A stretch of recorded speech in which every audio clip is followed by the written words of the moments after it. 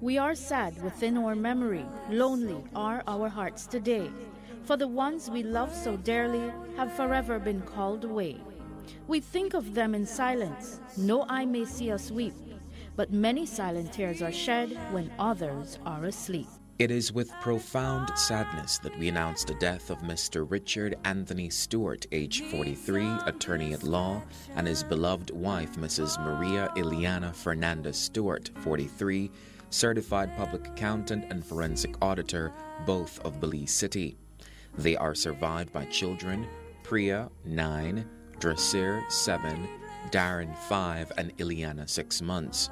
Maria is survived by her father Maximo Fernandez, mother Anita Fernandez, brothers Rodolfo, Orlando, Mario, and Hilario Fernandez, sisters Dr. Lourdes Fernandez Vera, Mrs. Rosita Fernandez, and Mrs. Benita Price, uncles Fernando, Gilberto, and Alejandro Fernandez, Rito Genaro, and Alberto Requena, aunts Balbina Lisby, Florentina Fernandez, Fidelia Borland, Juventina Fernandez, Adela Main, Cupertina, and Nicolasa Requena.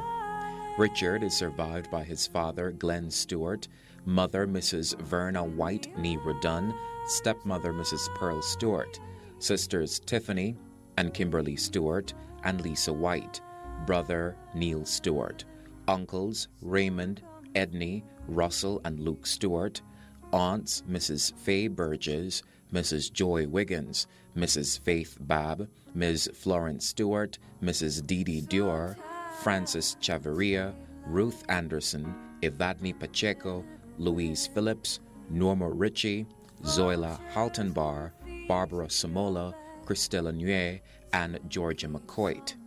Richard was predeceased by his grandparents, Mary and Albert Stuart. They are also survived by numerous nieces, nephews, other relatives, and friends. An official procession will leave the morgue on Saturday, October 23, 2010 at 8:30 a.m., followed by an ecumenical service celebrating the lives of Richard and Maria at 10 a.m. at St. John's Cathedral.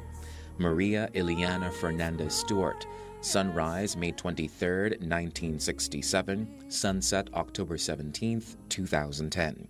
Richard Anthony Stuart. Sunrise, January 9, 1967. Sunset, October 17, 2010. Buses will leave from Mr. Maximo Fernandez's residence, 123 Western Highway, Santa Elena, at 8 a.m. on Saturday, the 23rd, for services in Belize City. Buses will be available at St. John's Cathedral for those wishing to attend the interment in Santa Elena.